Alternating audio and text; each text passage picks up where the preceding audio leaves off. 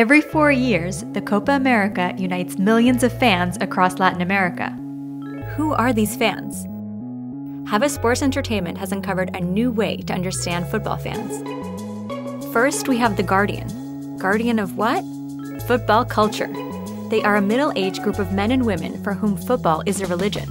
They're also proud storytellers who love football legends like Pele. The Guardian especially enjoys discussing football with another one of our profiles, the connoisseur, who is a lover of the game and its tactics. This young, super connected gamer loves to relive the game through statistics. He plays football and often finds the perfect teammate in our next profile, the Explorer. This young man is a brand advocate, particularly for those brands that support his multiple passions. He's a tech savvy trendsetter, online 24 7 spreading his influence. Hey brands! These first three football fan profiles represent your all year round fan target. Wait a minute, there's another profile who's also a year round fan, but he's a little different. Meet the Patriot. This middle aged target, a mix of genders, is first and foremost a member of their hometown community. This makes them a lifelong supporter of their local club, which is a big part of their identity.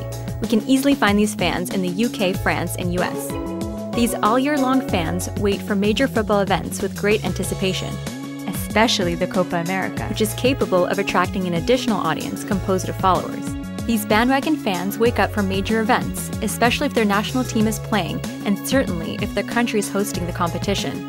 They are middle aged fans of both genders, who often buy merchandise to be part of the football celebration.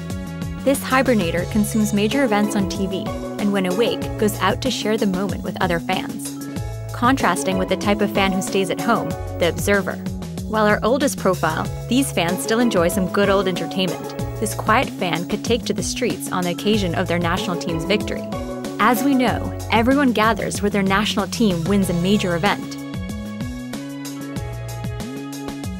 So, interested in these fans? Get in touch.